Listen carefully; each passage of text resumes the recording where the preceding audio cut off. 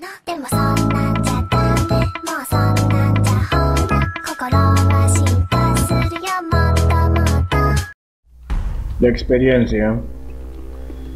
Eh, muchos van a decir cómo es que la gente llega a niveles bastante altos en la experiencia, como 200, 250, incluso 300 y ya muy allá y lejanamente 300 y 400. Para los que no sepan, en el KR es más fácil farmear experiencia por el tema de que hay un buff que les da 100% adicional. Y bueno, o sea, wow. Si bien en algunos iconos de la parte superior que tienen esa bonificación. Y bueno, en el KR es bastante normal que tengan esos niveles. Pero acá en estos no tenemos ese beneficio. Como ya saben algunos uh, cybers y ese tipo de cosas por estar ser premium o, o VIP, por así decirlo. Ahora, como saben para farmear experiencia se necesita la medalla de 100%, la normal, el buff de cascada y la resonancia. Eso es lo más básico. Para que sea superior hay que usar el ticket de entrenamiento del gremio. Esta se compra y es un 50% adicional.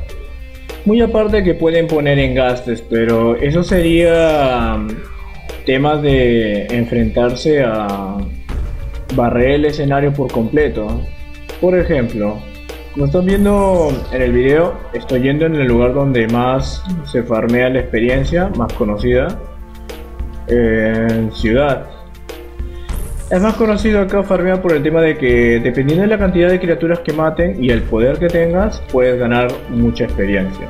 Es por decir, yo ya hace tiempo he hecho videos de cómo farmear la experiencia.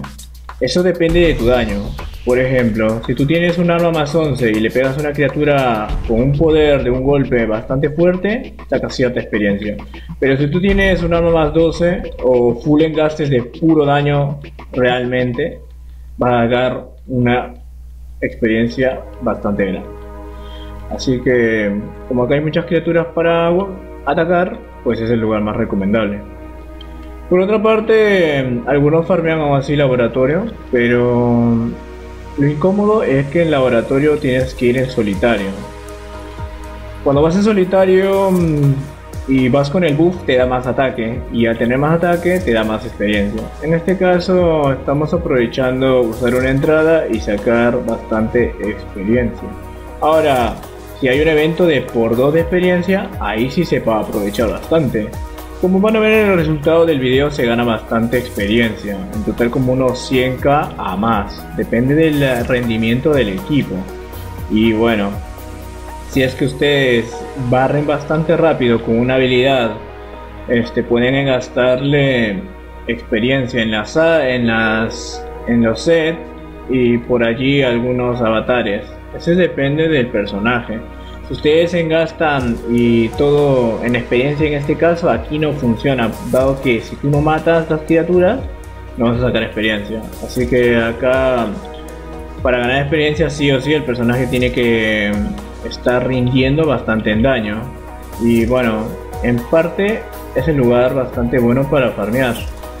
Muchos saben que acá la gente está subiendo de nivel y se sube bastante bien, ya digo. Por el tema de que como voy en resonancia 267, wow, es bastante. Yo le digo que acá es el único lugar donde puedo subir porque uff, para subir, wow, se demora bastante. Si no hay evento de por 2 o por 3 o medalla de 200% de experiencia o más. Ya, una duda de que siempre tienen, Drago, este, ¿Funciona solamente una medalla de experiencia o pueden ponerle más? Este siempre, para todos, esta es la duda que siempre me pregunta, solamente funciona la medalla de mayor valor. Es igual que la de drop, si es de 50, 50 es lo máximo, a menos que haya una moneda que dé 100% de drop, esa funciona mejor. Ahora, para que sepan, también funciona eso en la medalla de experiencia. Si es de 200, esa funciona solamente en el caso que diga acumulable. En otras medallas que dicen 50% acumulable por 5. Si tiene 5, 250. Ese es solamente el caso donde se puede sumar las medallas. Solamente está siempre detallado. Ya. Eso entre otros tipos de objetos que pueden darle experiencia si es que tienen allí el traje de bodas o el traje premium. Bueno, esas son formas de tener una experiencia adicional. Pero esas son la, forma más normal que sacan experiencia. Y con un poco de suerte, si van en este caso al laboratorio, pueden salirle en individual, como algunos hacen. Pueden este, sacar este, una misión aleatoria y sacar un poquito más de experiencia. Pero más en ciudad es para sacar pura experiencia, no para para farmear. Se puede farmear algunos polvos y si tienes suerte, mm, algún objeto, una piedra valiosa te puede salir. Y bueno, ahora otros casos. Vamos a poner en las circunstancias. En este caso, ciudad es bueno cuando la voluntad es escasa. Por ejemplo, en este evento es experiencia por dos y voluntad ilimitada. En caso que no tengan grupo y eres independiente, puedes optar en ir al escenario de ad. Es bastante rendible, siempre y cuando lo pases en un minuto o menos. Bueno, un minuto 30 para algunos. A menos tiempo, mejor. Por ejemplo, si tú vas al laboratorio y te demoras 3 minutos, ganas 77 caca de experiencia. Y si vas al laboratorio, o bueno, si vas hasta el escenario de ad, diré, este, ganas 23 te demoras un minuto aproximadamente. Por 10 ganas en total este 66 que aproximadamente. Pero la ventaja es que obtienes EDE.